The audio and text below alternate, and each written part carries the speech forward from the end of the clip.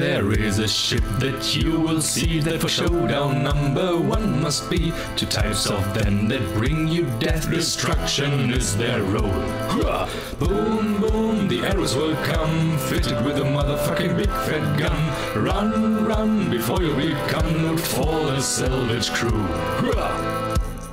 You think that you're saving a hammerhead, but soon you will be dead. The Ion puts your shields down, the inferno cracks your hull. Boom, boom, boom, the Ares will come, fitted with a motherfucking big fat gun. Run, run, before you become loot for the salvage crew. Hurrah! Even for an Idris, the Ares is its nemesis. The bullets will cut its hull into gone will be ship and crew. Oops, boom, boom, the Ares will come, fitted with a motherfucking big fat gun. Run, run, before you become loot for the salvage crew. Hurrah!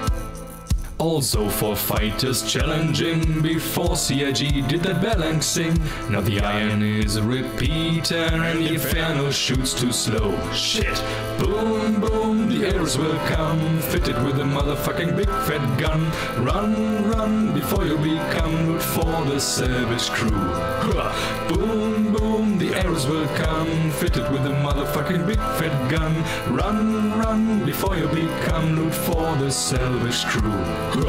Boom, boom, the Ares will come, fitted with a motherfucking big fat gun. Run, run, before you become loot for the salvage crew.